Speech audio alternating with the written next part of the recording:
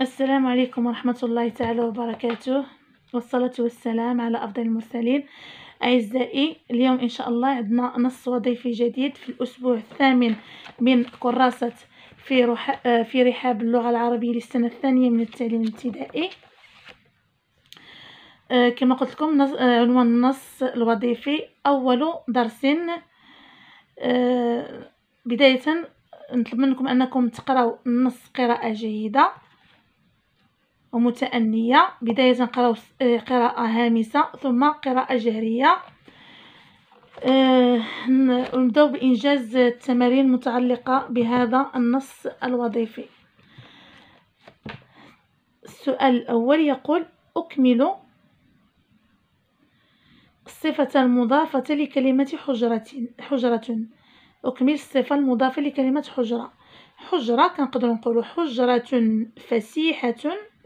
حجرة فسيحة حجرة نظيفة. صفة يعني كنوصفوا هاد الحجرة كي دايرة. حجرة نظيفة. ونقدروا نقولوا حجرة الدرس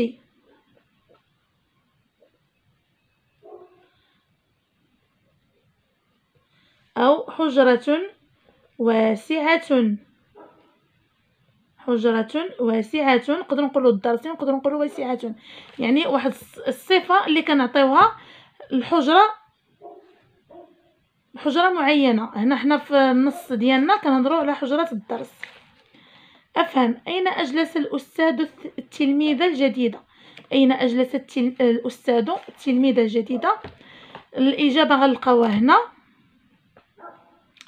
أدخلني الأستاذ حجرة بها التلاميذ وأجلسني في المقعد الأول إلى جانب أصغر تلميذ. إذا أجلسه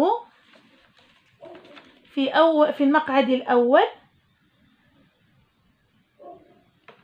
إلى جانب أصغر تلميذ. إذا الجواب أجلس الأستاذ التلميذ الجديدة في المقعد الأول إلى جانب أصغر تلميذ السؤال الثاني ماذا كتب الأستاذ للتلميذ الجديد؟ ماذا كتب الأستاذ للتلميذ الجديد؟ أيضا الجواب موجود في النص بدأ التلاميذ ينقلون الدرس المكتوب على السبورة ترى كيف بدأ أول درس؟ هكذا أبحث عن الجواب. أقوم بقراءة النص مرة ومرتين حتى عشر مرات حتى أستطيع استيعابه وإنجاز الأسئلة الفهم المتعلقة به. ترى كيف أبدأ درس؟ تمشى الأستاذ ببطء حتى وصل إلى مقعدي وكتب في دفتري أحب مدرستي. أحب مدرستي. هذا ما كتبه الأستاذ للتلميذ الجديد. إذا كتب الأستاذ للتلميذ الجديد أحب مدرستي. كتب الأستاذ للتلميذ الجديد أحب مدرستي. ننتقل لأفكر. أتحدث عن اليوم الأول الذي دخلت فيه إلى المدرسة. هنا هذا الإنجاز غيكون ديالكم. يعني كل واحد فيكم غيتحدث عن أول يوم له في المدرسة كيف مر؟ كيف مر مر عليه أول يوم في المدرسة؟ يعني كل واحد فيكم غيكون مختلف على الثاني وغيتحدث على أول يوم وصفه آه، كيفاش تعرف على الأصدقاء والزملاء ديالو في القسم كيفاش تعرف على الأستاذ ديالو إلى آخر. هذا آه هذا التمرين لأنه متعلق بكم. إذا نتوما اللي غتنجزوه نخلي لكم آه نخلي لكم يعني آه هذا التمرين تنجزوه. وكتبوا لي في التعاليق شنو كل واحد آه إلا كان ممكن. الأم والاب ديالكم يكتبوا لي في التعاليق شنو شنو درتو بالنسبة لهذا السؤال. لأنه فيه شوية ديال التعبير. لازم أنكم تشتغلوا عليه راسكم ها. في النص جملة تدل على تشجيع الأستاذ للتلميذ. أقرأها. في النص جملة آه، تدل على تشجيع الأستاذ للتلميذ. هي موجودة في الفقرة الأخيرة أصدقائي. عاد الأستاذ وألقى نظرة على ما كتبته فاشتد خفقان قلبي يعني قلبه بدأ كيضرب بزاف. ربت على كتفي ثم قال لي حسنا قريبا ستتعلم. هذه هي الجملة اللي كتدل على التشجيع ديال الأستاذ للتلميذ الجديد. قال له حسنا قريبا ستتعلم. إذا الإجابة هي هذه. الجملة التي تدل على تشجيع الأستاذ للتلميذ هي حسنا قريبا ستتعلم. انتقلوا للأنجز أحول نظر إلي مبتسما. أنت أنت؟ هنا إذا شنو شنو؟ ضمير الغائب هو. هو نظر إلي مبتسما. أنت؟ أنت نظرت. أنت نظرت إلي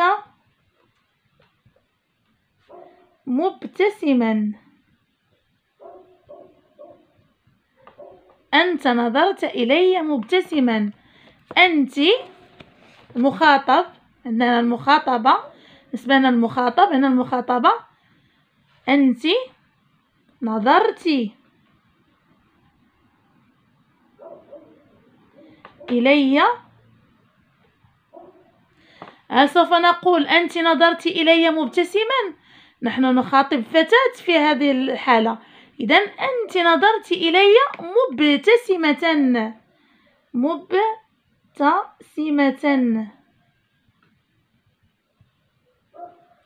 إذا أنت نظرت إلي مبتسما أنت نظرت إلي مبتسمة.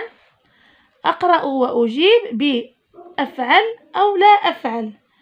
أكتب قبل أن أفكر في الجواب. أكتب قبل أن أفكر في الجواب. واش نكتب مثلا؟ عندي واحد المجموعة ديال التمارين. نكتب الجواب قبل ما نفكر فيه مزيان. طبيعة الحال لا أفعل. وهنا يمكن لكم ديروا أيضا كروة. بلاص ما تكتبوا لا أفعل ديروا واحد العلامة. أتكلم بأدب مع الذي أتحدث إليه. أتكلم بأدب مع الذي أتحدث إليه. بطبيعة الحال أفعل.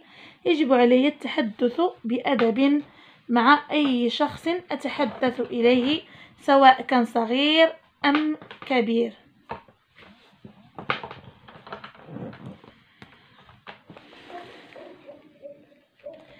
إلى هنا أصدقائي نكون قد وصلنا إلى نهاية فيديو اليوم.